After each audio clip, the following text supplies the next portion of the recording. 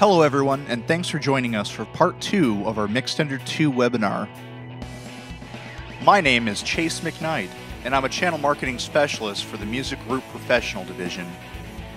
In part two, we'll be going over some of the basic functionalities of Mixtender 2, as well as talk about the new lockout feature that has been added in Mixtender 2.1.1.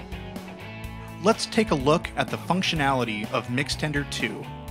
For this, I've chosen to use the demo mode. When you select demo mode, you'll need to choose what console you want to operate on. For this exercise, let's stick with the Pro 1. As you can see, the top portion displays our Pro 1's 40 inputs, 8 aux returns, 16 aux sends, 8 matrices, our left-right mono masters, as well as access to our VCAs, pop groups, and graphic EQs. Let's begin by tapping on our inputs 1 through 8. This gives you a general overview of what's happening on our first 8 inputs. You have channel fader control, mutes, solos, as well as channel metering and metering for the compressors and gates. Over to the right, you can even change the fader's function, giving you access to your aux send contributions. Notice how the mute and solo now become on and pre. If you tap on the mini input display, you'll now have access to equalization, input delay, as well as panning. To get started EQing, simply turn on the EQ, select a frequency band, and begin boosting or cutting.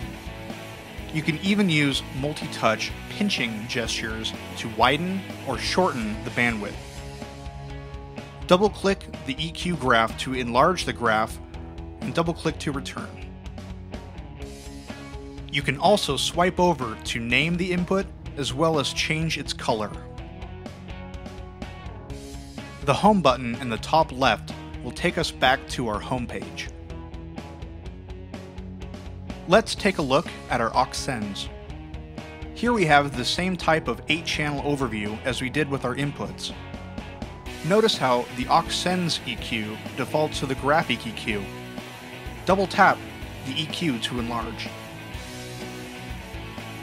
Use the bottom icon to scroll through the different bands. You'll see a small gear icon in the bottom right. This gives you added copy and paste functions as well as zeroing each band back to zero. Next, we can take a look at the VCAs.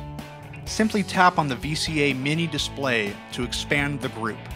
To add channels to the VCA, press the Edit button. This expands, revealing all of our inputs. Tap on the mini displays to select each input. When done, press Edit again. To see our VCAs, press the VCA mini display.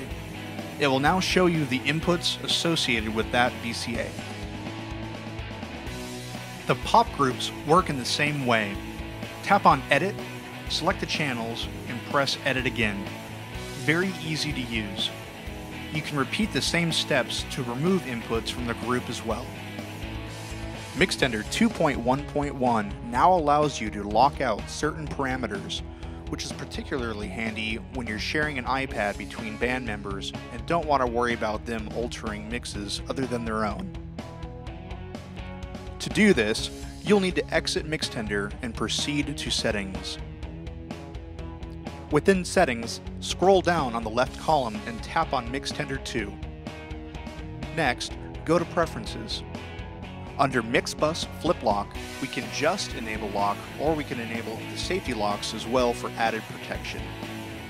Then, simply exit out and reopen Mixtender.